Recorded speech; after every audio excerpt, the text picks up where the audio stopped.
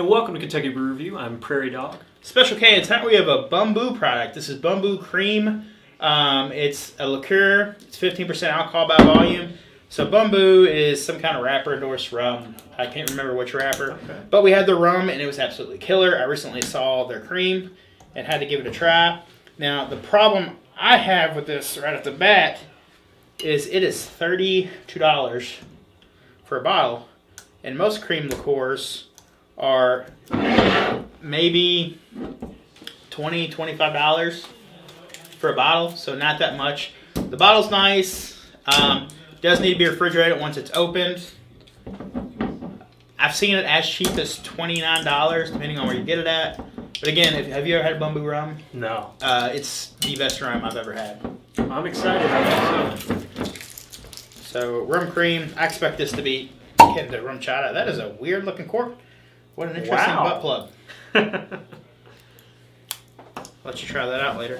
All right. That's not the color I was expecting. I was expecting to be more. Uh, oh, More yeah. white. Me too. that smells like RumChata, like straight up. Yeah, it does. Yeah, it does. So That's not a bad thing. no, but RumChata is eight dollars cheaper. So, all right, color. It's RumChata color. Nose. It's not quite as cinnamon as RumChata. Yeah. Just kind of creamy cinnamon. I don't really get too much rum in there per se. No.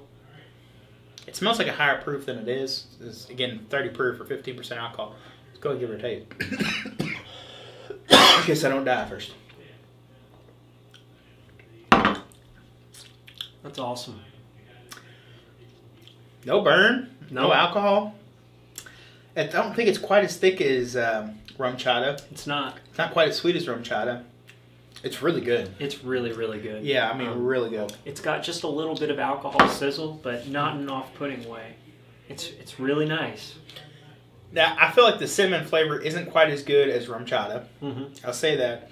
But overall, the texture, the sweetness level, um, I think it's better than RumChata in that aspect. Um, I agree. really, really good. Problem is the price. Again, it's high for you know the only other competition I can think of really is RumChata. Yeah. Um, you have Bailey's and stuff like that, but those are coffee liqueurs. This is a rum, like a rum liqueur. Um, it's interesting they call it a rum liqueur when they're more they're sort of akin to like a RumChata. It's where it's going towards. It doesn't say that anywhere in the bottle, but that's definitely what it tastes like it's going towards. Absolutely. If you know what a RumChata is, it's sort of like horchata. It's like a cinnamon rice milk thing, except super sweet and alcoholic. Yeah. I would say this one's a little bit more like eggnog rather than horchata. A little bit. Um, Like it a lot. Uh, over, eh. Even though it's a celebrity endorsed thing, I think that's probably why it's got that such a high price tag. You know, rappers and whatnot. yeah. Uh, I'll probably still give this. I'm gonna go with a nine. really. Uh, it's that good. I mean, I really enjoy it. I think the downside to me is the price, and I think the cinnamon isn't quite as good. So go Yeah. with the nine. Um, I'm going to go with an eight. Um, I I definitely think this is fantastic. Mhm. It's it's really awesome. Um, for me, the the price is is a big factor there, and it you can't talk about this and not talk about RumChata. And in that way, I, I just think that the price they're they're pretty comparable. Mhm. But I'd rather go with the cheaper product. Um, and they're even off-brand horchatas at this point, but those are um, not. You can tell there's a dip in quality. Um, now here's the question: We normally mix something at this point in the show, but I don't have anything to mix it with, so we're just going to talk about something this would be mixed with, uh, mixed well with. Probably like coffee. Mm-hmm. Actual horchata would probably be really, really good with this one. Anything that's um, dairy based, you could probably make some sort of float with it if you had some ice cream and uh, soda and stuff like that. I think this would be awesome, even if you just had this glass but filled it with a few ice cubes first. For I sure. think that'd be great. Uh, I'm curious if there's a way. I bet you probably could turn this into ice cream. Mhm. Something we need to experiment on the show with. That would be pretty fucking cool. That would be cool. Um, but yeah, I like you know, mixability is limited with a lot of dairy liqueurs. You have to be careful with curdling. So like Yeah. uh, stuff that's very acidic or pretty carbonated, it tends to curdle. Um, this would probably mix well, believe it or not, with something like uh, like a nitro stout, so like Guinness.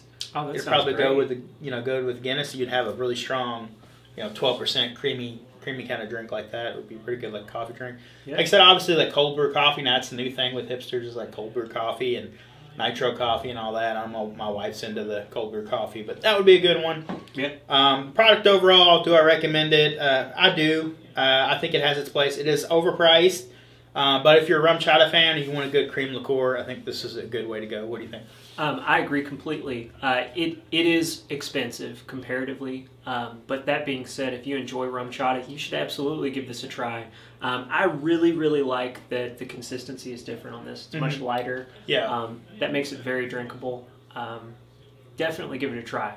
Definitely. You know they make these uh, like Rebel Coffee. They make these five percent alcoholic coffees nowadays, mm-hmm. and I think a lot of them are missing stuff. Uh, I think this would be a good addition to those to bump up that ABV to like 10 or 12 percent and make them a little creamy and a little sweetness. Yeah. Because a lot of them, like I said, they come out and they're cold brew, so they don't have any sugar. They're just it's just coffee, alcoholic, dry, cold coffee, and it's just not good. This would probably put something like that over the top. I know Kirkland even has some non-alcoholic cold brew coffees in a can that this would go really well with.